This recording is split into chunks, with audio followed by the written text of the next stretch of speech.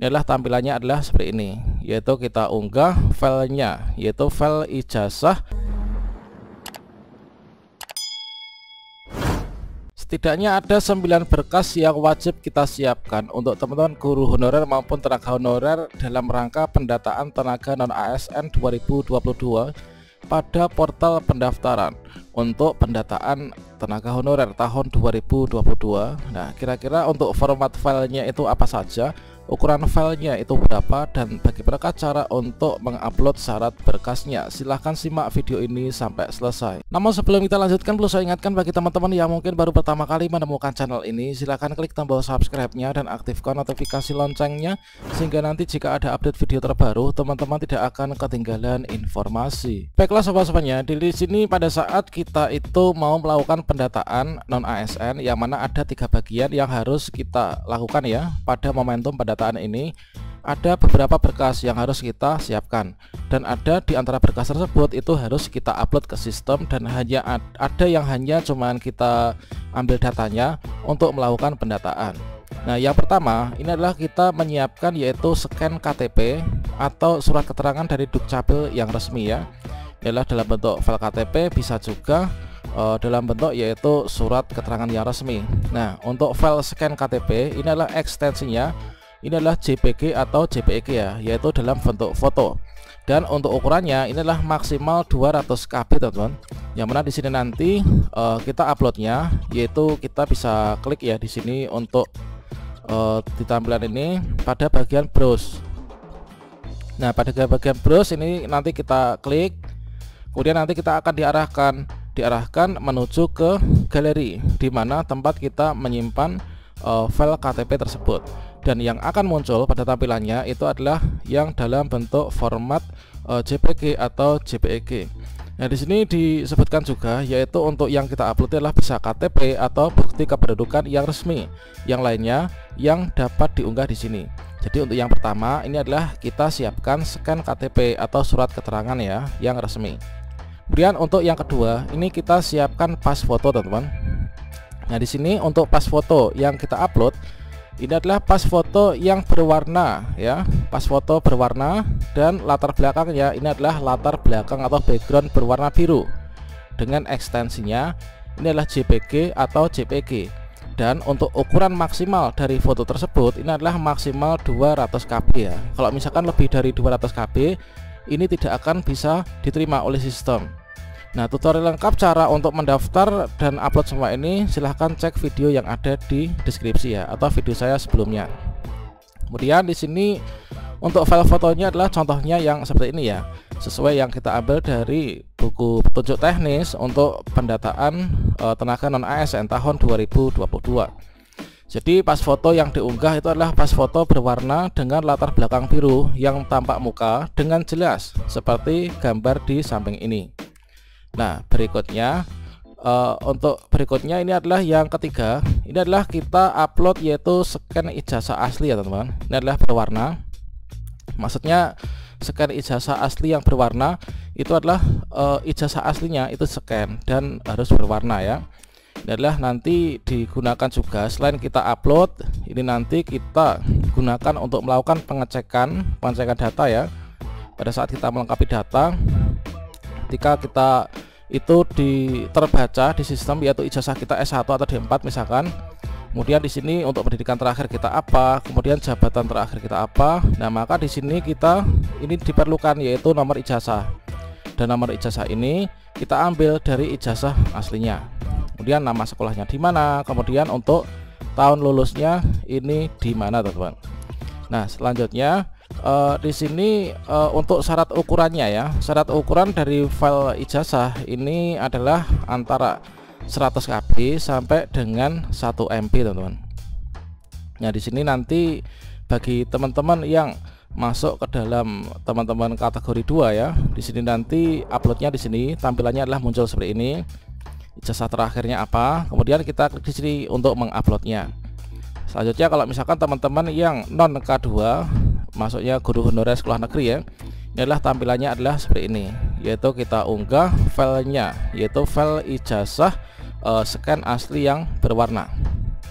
Kemudian yang keempat inilah kita up, uh, kita nanti persiapkan yaitu kartu keluarga ya. Yang mana kartu keluarga ini ini adalah kita gunakan untuk melakukan pengisian data. Nah ini karena semua ini harus sesuai ya dengan data yang ada di Dukcapil pastikan kakak kita ini adalah kakak yang sesuai dengan Dukcapilnya ini kita ketika masuk pada langkah yang pertama yaitu pengecekan identitas maka di sini kan kita memerlukan yaitu e, nomor induk kependudukan ya. Kemudian di sini kita perlukan nomor kartu keluarga. Nah di sinilah kita memerlukannya. Kita inputkan nomor kakak kita. Kalau misalkan nomor induk kependudukan kan kita bisa ambil dari KTP tapi kalau nomor kakak ini kita bisa ambil e, dari kakak kita dan kita isikan nama lengkap kemudian tempat lahir sesuai KTP tanggal lahir sesuai KTP ini kita sesuaikan dengan KTP kita. Inilah fungsinya nanti untuk kakak itu adalah pada bagian ini. Kemudian ketika mengisi riwayat pekerjaan ya pada tahap ini tenaga non ASN yang mengisi, ini mengisi riwayat pekerjaan sesuai dengan ketentuan bahwa riwayat pekerjaan yang ditambahkan hanya dari instansi penempatan yang saat ini Nah, di sini adalah berarti yang bagian kelima ini kita siapkan scan SK honorer, teman. Nah, ini kita siapkan scan SK honorer. Yang ini selain kita gunakan untuk mengisi data yaitu sesuai dengan SK ya. Ini juga nanti e, untuk berkas scan ini ini nanti akan kita upload. Akan kita upload pada saat kita masuk dalam tahap yaitu riwayat pekerjaan.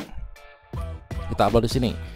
Kalau misalkan di sini ini sudah sesuai, maka kita tinggal upload saja ya. Tinggal upload yaitu SK-nya kita upload di sini. Kalau misalkan sudah pindah, misalkan kita ini kita ubah di sini. Berikutnya kita akan diberikan yaitu uh, form untuk mengubahnya. Jadi nanti kita uploadnya untuk scan honorer, uh, scan SK honorer itu adalah pada bagian ini. Berikutnya yang keenam, ini adalah kita siapkan scan bukti pembayaran gaji honorer.